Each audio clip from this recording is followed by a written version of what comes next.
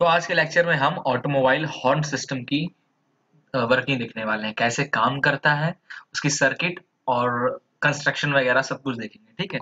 और बहुत कम टाइम में, क्योंकि ज़्यादा बड़ा टॉपिक नहीं है और बहुत आसान सी वायरिंग होती है इसकी, अपने ऑटोमोबाइल में, वो भी देखेंगे। जनरली जो हॉर्न होता है, वो तीन टाइप का होता है। बल्ब टाइप ये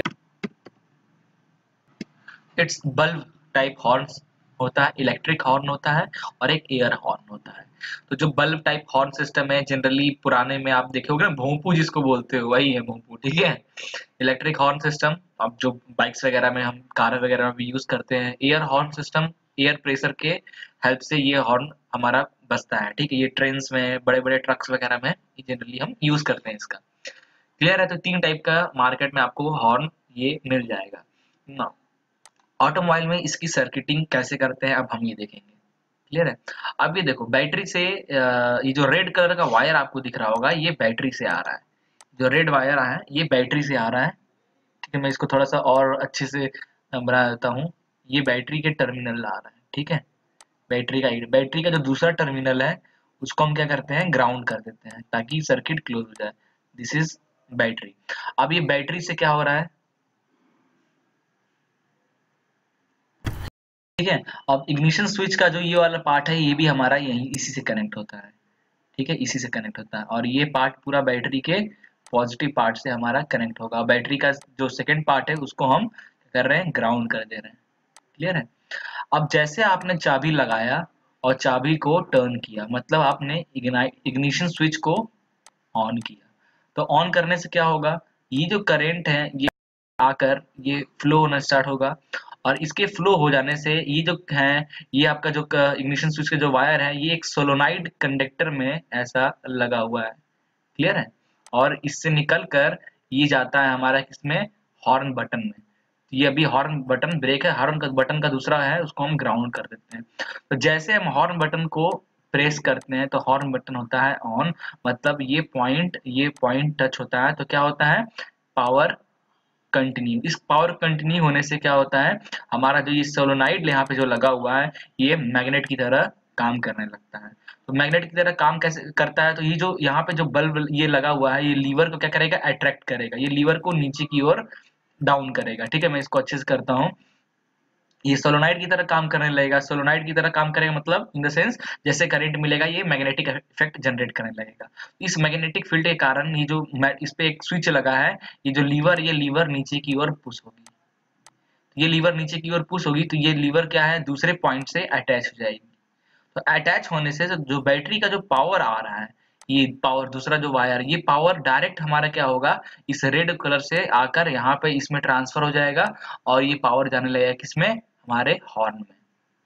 तो हमारा हॉर्न बजने लगता है। हॉर्न का दूसरा एंड को हम ग्राउंड कर देते हैं। तो ये था ओवरऑल हॉर्न सर्किट डायग्राम अब हम डिस्कस करने वाले हैं। ये तो ठीक है, इसमें करंट आ रहा है तो हॉर्न हमारा बज रहा है। बट ये हॉर्न का ये कंस्ट्रक्शन कैसा है? कैसे ये बजता है? हम ये भी इस लेक्चर में देखेंगे। ये तो सिस्टम ठीक है बट ये कैसे बज हॉर्न कैसे बजेगा, कैसे इलेक्ट्रिसिटी लेकर हॉर्न साउंड कन्वर्ट करता है? मतलब क्या कर रहा है हॉर्न यहाँ पे? इलेक्ट्रिसिटी को इलेक्ट्रिसिटी को इलेक्ट्रिसिटी को साउंड एनर्जी में कन्वर्ट कर रहा है। कैसे कर रहा है? क्या है इसकी कंस्ट्रक्शन हॉर्न की? ये हम देखने वाले हैं। ठीक है? सो गाइज़ ये मैंने एक ड्राइंग बनाया है, कुछ ज़्यादा खास नहीं है बट आपको समझ में आ जाएगा। ये ब्लैक कलर से जो दिख रहा है, पूरी हॉर्न की बॉडी है। ठीक है हॉर्न बॉडी इस हॉर्न बॉडी में ये फ्रंट पे डायफ्राम लगा हुआ है, ठीक है? जैसे कि आप देखे हुए कोई भी हॉर्न या कोई म्यूज़िक सिस्टम में एक आगे स्टार्टिंग में डायफ्राम लगा होता है। इस डायफ्राम में एक प्लंजर लगा होता है, ठीक है? ये और ये प्लंजर से हमारा ये दो स्विच कनेक्ट होते हैं। ध्यान से देखोगे, एक स्विच स्विच ये, एक स्विच ये, ठीक है? ओके सॉरी तो ये दोनों स्विच है। तो जैसे आप हॉर्न को प्रेस करते हो बटन को हॉर्न के बटन को प्रेस करते हो तो इलेक्ट्रिसिटी क्या होती है? यहाँ से आने लगती है। जैसे इलेक्ट्रिसिटी आती है, ये इससे अटैच रहता है तो ये इस इस बटन के थ्रू स्विच के थ्रू ये इलेक्ट्रिसिटी चली जाती है हमारे इस कॉइल्स में। ये हमारे कॉइल कॉइल नंबर ए और दिस इज़ कॉइल बी ये कॉइल का जो इस पे कॉपर वायर लपेटा रहेगा, ये वायर ग्राउंड इसको हम कर देते हैं ग्राउंड तो जैसे इसमें इलेक्ट्रिसिटी आता है, ये मैग्नेट की तरह काम करने लगता है, उससे क्या होता है, आपका जो ये प्लंजर है, ये प्लंजर नीचे की ओर मूव होता है। प्लंजर नीचे की ओर मूव होने से यहाँ पे जो कॉन्टेक्ट है, ये कॉन्टेक्ट क्रॉस हो जाता है। ये क्या होगा? पीछे की ओर हो जाएगा। क्लियर है? मैं कोशिश करता हूँ इसको पीछे करने की।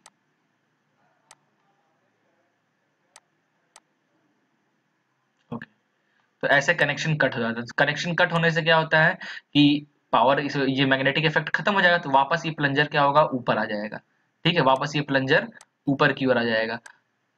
और जैसे प्लंजर ऊपर की ओर आएगा, फिर ये इसके कांटेक्ट में हो जाएगा। और फिर करंट पास होगा और ये प्लंजर वापस नीचे हो जाएगा। ऐसे ऊपर नीचे जो वाइब्रेशन है, ये प्लंजर का अप एंड डाउन होने से और ये डायफाग्राम पे लगा है, इससे क्या होती है? हमारी एक साउंड निकलती है। क्लियर है? ये साउंड निकलता है। इसी को जो बीप बीप बीप आवाज़ जो आती है, इसी कारण आती है। अब ये जो आवाज़ है साउंड है इसका आप हॉर्न का सुने होगे कि उसमें एक बटन रहता है, उसको आप टाइट करते हो अपने स्क्रू ड्राइवर से जब टाइट करते हो साउंड चेंज होता रहता है।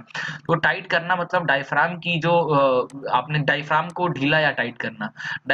डायफ्राम के जो ये पॉइंट और ये जो पॉइंट डायफ्राम का अटैच है, इस पॉइंट को ढीला करना या टाइट करना with the help of screw एक मैकेनिज्म से यहाँ पे कनेक्ट होता है। जब स्क्रू से स्क्रू को ढीला करते हो तो ये डायफ्राम ढीला होता है तो आवाज़ थोड़ी सी भारी टाइप की आती है और टाइट करते हो तो आवाज़ उतनी शार्प निकलती है। तो ऐसे हम साउंड को अलग अलग फ्रिक्वेंसी पे एडजस्ट करके हम वर्क करते हैं। ठीक है? आई थिंक इसका कंस्ट्रक्शन आपको क्लियर होगा। इससे पहले हमने डिस्कस किया था हॉर्न का सर्किट डायग्राम वीडियो अगर पसंद आया तो लाइक कीजिए सब्सक्राइब कीजिए और शेयर ज़रूर कीजिएगा। और कहीं डाउट हो तो आप हमें कमेंट्स भी कर सकते हैं।